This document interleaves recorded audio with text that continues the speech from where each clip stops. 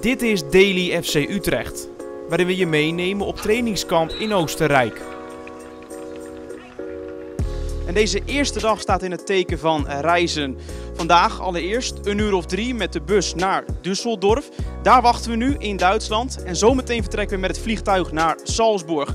We nemen jullie morgen mee naar eh, de training. De bal gaat dan rollen in Muldorf, dorpje in Oostenrijk waar we verblijven. Maar nu allereerst nemen we jullie natuurlijk mee op reis.